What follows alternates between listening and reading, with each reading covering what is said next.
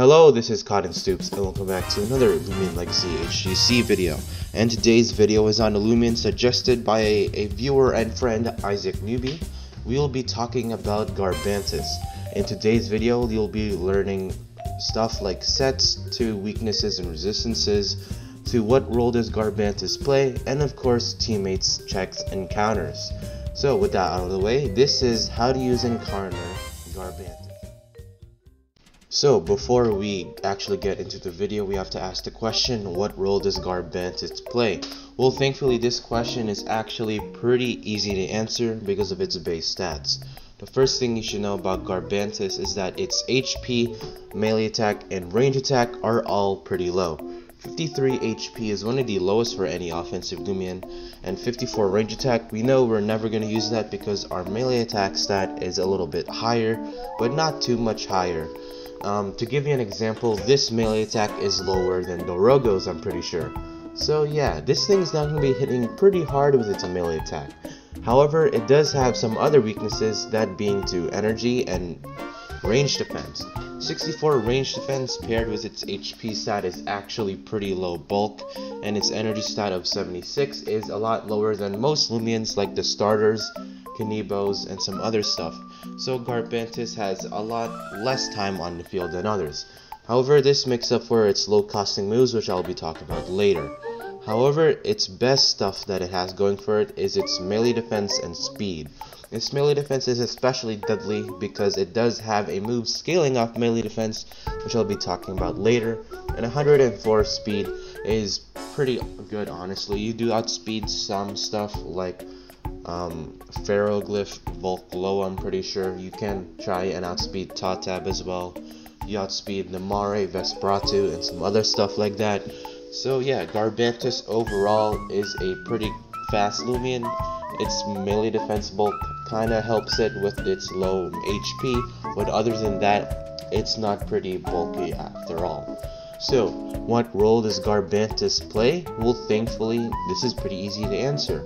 Garbantis is a quote unquote bulky, hits hard, fast sweeper and cleaner.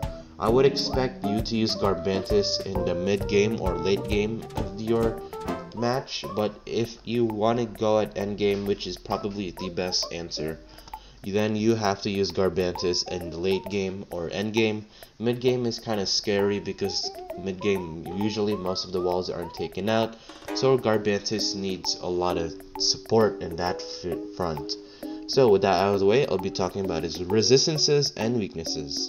Alright, Garbantis' typing of Earth plus Bug isn't as great as some other typings, but it does serve Garbantis relatively well, with three weaknesses only, to air, brawler, and water. Now, air types is mainly the stuff you should be watching out for because they pretty much wall you to an oblivion. Stuff like Stratosaur, Zeppelin, Wintrix, um, Snagoop are all air types you should be watching out for. And if you are concerned about Sorel, then you should be watching out for that as well. I did make a video on it, so go there if you want to watch it. Brawler types, mainly stuff like Kanibo is pretty much the only common brawler type other than Ursul and Mutagon, but those stuff are banned. Water types like Barblast, Luminami, and Barbla not Barblast, Luminami, and Kanibo are water types you should be watching out for, but other than that, not much water types that you should be watching out for. Other than that, you do have four resistances, but half of them are kind of mid. Toxic, Bug, Earth, and Dark are some resistances you should be watching out for. Dark types, well, mainly Meditoad, Cephalops, um, Clips all have dark type moves, so you can try switching in on those. Earth types, mainly Mars and Tyrex, and I guess you can count Borok. You can try switching in on those as well. You don't have the best matchup against them, but they're pretty okay. Bug types, mainly only Harvesect is the only common bug type, but it does wall you, so yeah, have fun with that. And toxic types, mainly Venilin, Snagoop, and Barblast, but then again, two out of three of those stuff do hit you super effectively. So yeah, resistances aren't really great because the resistances do have um, some ways to hit Garbantis pretty well. However, Garbantis main weakness is to ice, and ice is not as common, but it's definitely something you should be watching out for because Ze not Zeppelin, but Wintrix and Tundrelin are common ice types you should be watching out for, and I guess Himber is one of them also, so you can watch out for that as well. So with that out of the way, I'll be talking about Garbantis' sets. Garbantis' first set is going to be the General Cleaner or Garbantis' General set with the ability of Trash Armor. This is mainly for boosting up your defenses and your battering ram, so that is pretty good. I would not advise you running Sharp Claws simply because Garbantis doesn't really have a good melee attack stat and its moves are kind of weak, so on that front it's not really great. And the move set of choice is going to be Battering Ram and Earthquake. These are your two best moves, mainly because Battering Ram scales with your melee defense, and Earthquake is probably your best move because it is stab, it's 90 base power, and it does outdamage pretty much all of your moves combined, but you can try running other moves. You don't really have to run Earthquake. Bulk Up is your next um, move choice. Bulk Up's mainly here so you can set up Battering Ram and Earthquake to do a lot more damage. And your fourth move slot is Provoke or Poison. Poison's mostly for the air types that do not have dust or an outside ability like Stratosaur, so you can try poisoning them. And Provoke is mainly here for um, stopping walls from setting up, which is pretty good on that front. The, these both moves do have their advantages and disadvantages, so pick whatever you want. And yeah, the personality of choice is going to be robust, nimble, very clumsy. Very clumsy is mainly here because we do not want to uh, lower any other attacking stat because you know all of our stats are pretty important when we're not running much bulk. So very clumsy is the best thing because we're not using any range attack. Robust nimble is mainly here so we can maximize our speed and our melee defense so it's a good balance of that. And the item choice is going to be health amulet bug essence. Bug essence is mainly here because if you do not want to run health amulet on this thing and want to save it for something like Tyrex then bug essence is generally okay because yeah you know you want to do as much damage with battering ram as possible. And if you do want to run the shell then I won't stop you. I just wouldn't prefer the shell over an essence so yeah. And the TPs of choice is going to be 84 HP which at level 50 battles does give you an odd HP stat which will let you get 3 hit KO'd by icicle traps. Not to mention that it's pretty much leftovers so yeah 12 energy lets you use two bulk ups. I'm pretty no, lets you use one bulk up and rather one bulk up or one poison or provoke and for battering rams. So yeah that is a thing to consider and it's pretty much leftovers as well I'm pretty sure. And melee defense and speed does let you maximize your melee defense and speed stats so with that out of the way, I'll be talking about Garbantis' other set, which is generally the same, but it's a lot more faster. So, the second set for Garbantis is the faster set. With a Trash Armor ability, it's pretty much self-explanatory at this point. point, and the move set of choice is going to be Battering Ram is your pretty much only good move, and you can switch out any of the other moves.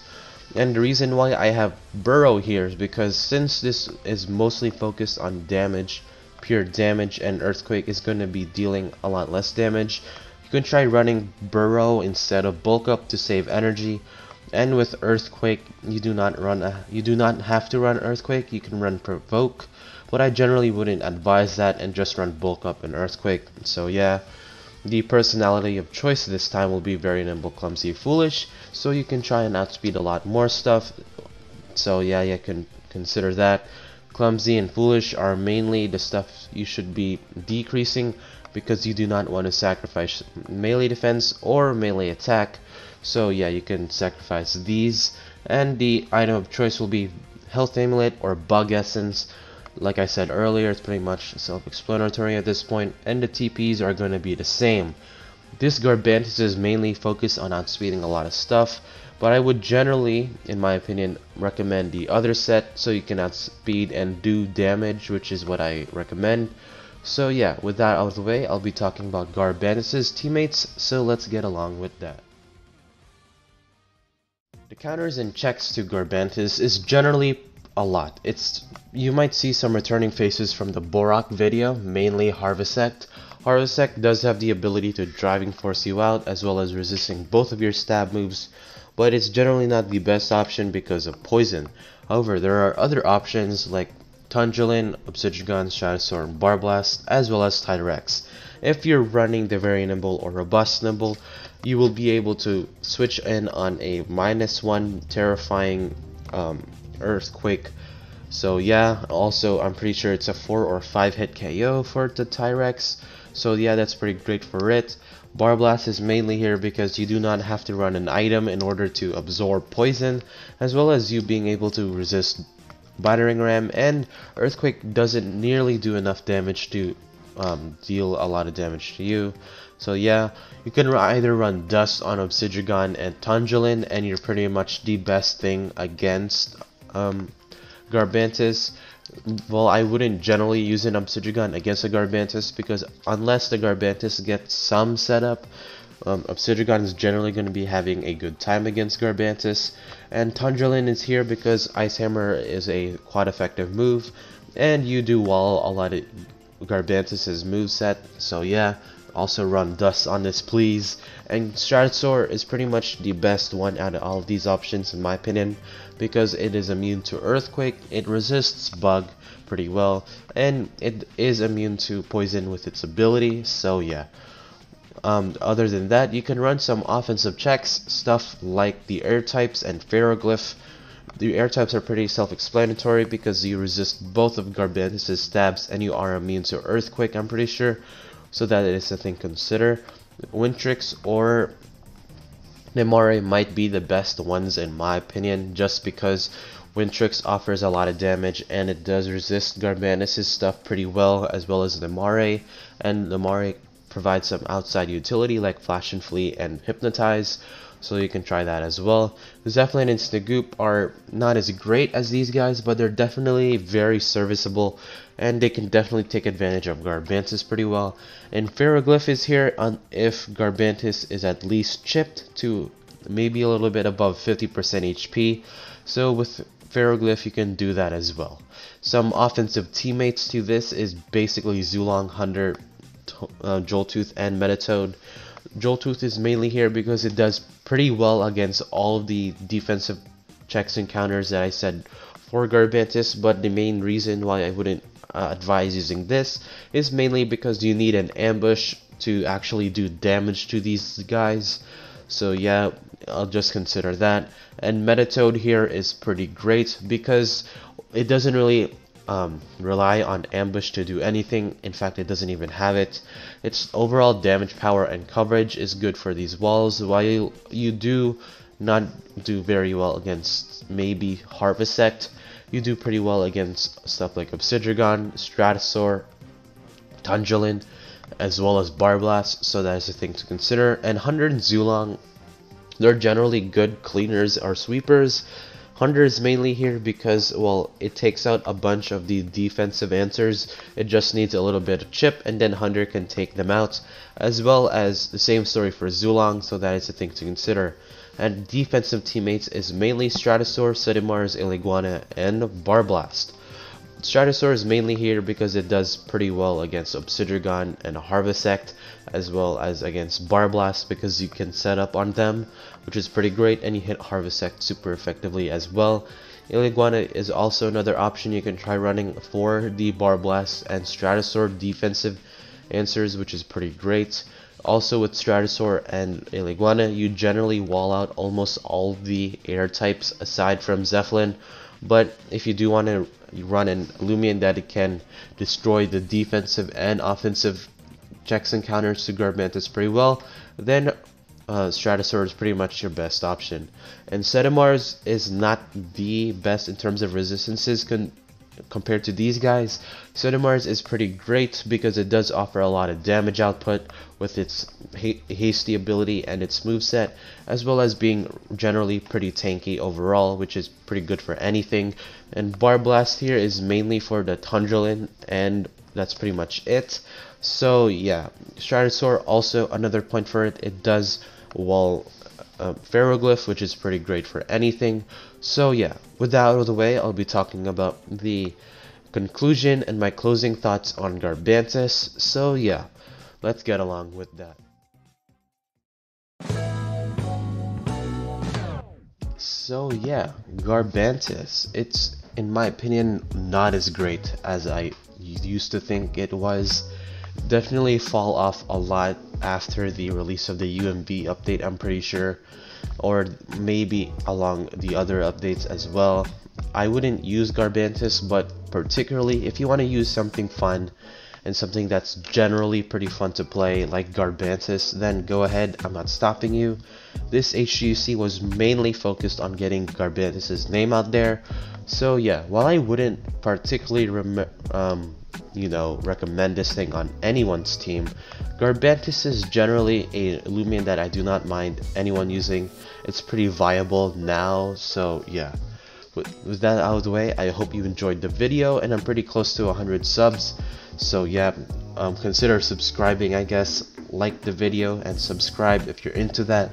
I do have a lot of great videos out there that I consider that are pretty good, like my how to use and counter Pyrolin and Cinogre, which are stuff that I pretty think that I think are pretty good as well as my how to use encounter counter Borak and Sorel video that are generally good Loomians and Sorel is the new Sweet Retreat Loomian so yeah subscribe if you want to see more videos like that and like the video if you found this video informational. I generally do Loomian guides like this so if you want to see more from me then like the video and yeah.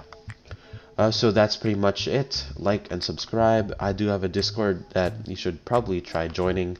I do weekly not weekly i do daily question of the days i do some other stuff on there as well and provide leaks for any new upcoming videos as well so with that out of the way like the video subscribe join the discord and of course remember that zulong is still a dumpster fire